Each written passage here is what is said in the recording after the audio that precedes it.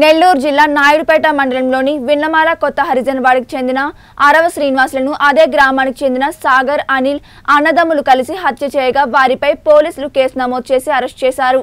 ఈ సందర్భంగా డీఎస్పీ రాజగోపాల్ రెడ్డి మాట్లాడుతూ ఇటువంటి వాళ్ళు పని లేకుండా గాలికి తిరుగుతూ గొడవలకు పోతూ అరవ శ్రీనివాసులను హత్య చేశారని అన్నారు.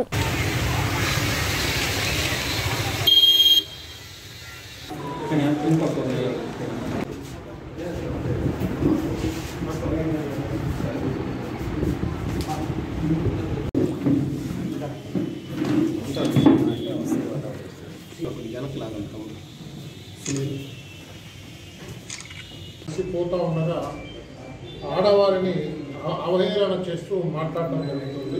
ఎర్నాటి గ్రహాలు ఎర్నాటి అని ఎర్నాటి సాగర్ అక్కడ ఈ విన్నమాల టర్నింగ్లో వాళ్ళు గొడవ పడడం జరుగుతూ జరుగుతుంది. తర్వాత ఆ గొడవ దృష్టిలో పెట్టుకొని ఇల్లు కూడా అంతా ఒకే కాలనీ పక్కపక్క ఇల్లే. పోయిన తర్వాత ఫస్ట్ ఈ కార్ షెడ్లు కాల్ చేస్తూ మాట్లాడతారు.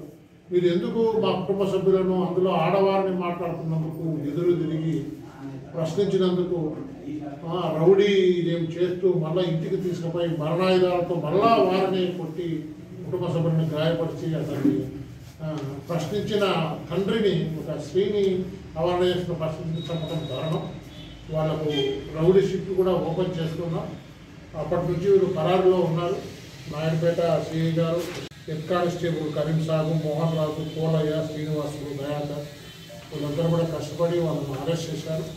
వారు ఖచ్చితంగా శిక్ష పడేలాగా జీవిత ఖైదు పడేలాగా మేము కేసును బిల్డప్ చేస్తూ ఉన్నాం. త్వరలో షార్ట్షీట్ కూడా వేయటం జరుగుతుంది. ఖచ్చితంగా వారికి జీవిత ఖైదు పడేలాగా మేము అన్ని చర్యలు తీసుకుంటాం. రేపటి నుండే వాళ్ళ మీద రౌడీ షీట్లు కూడా అందుకోవటం జరుగుతూ ఉంది. మేము పోలీసు వారిని హెచ్చరిస్తున్నాం. ఇటువంటి హత్యలపై అంటే అనవసరంగా జులాయిగా తిరుగుతూ ఒక హై హ్యాండెడ్గా ఆ ప్రాంతంలో ఆ ఏరియాలో పెత్తనం చెలాయించాలనే ఉద్దేశంతో ఇట్లా రౌడీజం ఎవరైతే చేస్తూ ఇట్లా హత్యలు చేస్తారో వాళ్ళని మాత్రం స్పేర్ చేసే ప్రసక్తి లేదు. వాళ్ళని మాత్రం ఉక్కు పాదంతో వాళ్ళకు వాళ్ళ చర్యలకు పురస్కారం పెడతాము వాళ్ళకు అన్ని విధాలా మేము కట్టడి చేస్తాం. వాళ్ళకు దేవుడు రాకుండా కూడా చూస్తాం. మిగతా వారికి కూడా వార్నింగ్ ఇస్తున్నాం.